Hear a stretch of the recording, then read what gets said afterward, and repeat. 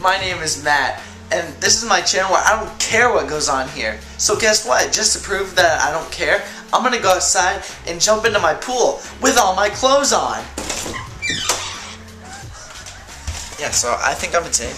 Granted, I did put on some uh, basketball shorts because I don't want to get any like um, cargo shorts that I was wearing earlier wet, so I put on some uh, no clothes. Hat not included, by the way. That hat will not be jumping into the pool. Only, only I will.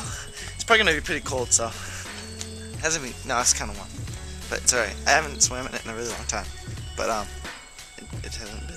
It's like there's like a bunch of leaves in it, whatever. Yeah. okay. It's kind of crooked, whatever. I don't care.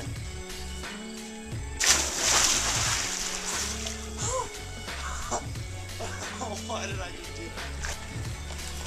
Subscribe.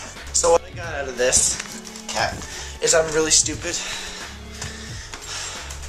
I think I, I was actually going to continue swimming in it, but I didn't feel like swimming.